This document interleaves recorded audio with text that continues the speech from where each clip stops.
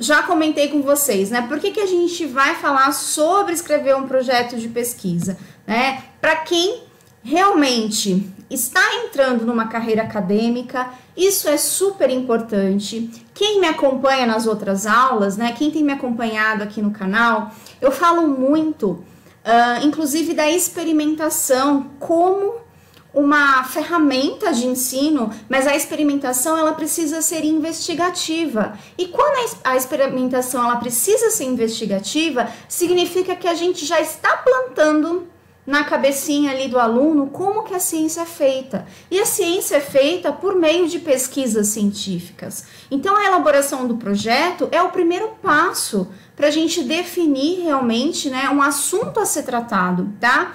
E muitas pessoas me, pro, me procuram, né, que elas querem escrever um projeto, mas não sabem como sair do ponto A e chegar no ponto B, né, ficam dando voltas tem dificuldade, inclusive, de começar. Então, a ideia com a nossa aula é deixar isso mais claro, né, como que a gente vai conseguir mesmo tratar esse esse projeto de pesquisa.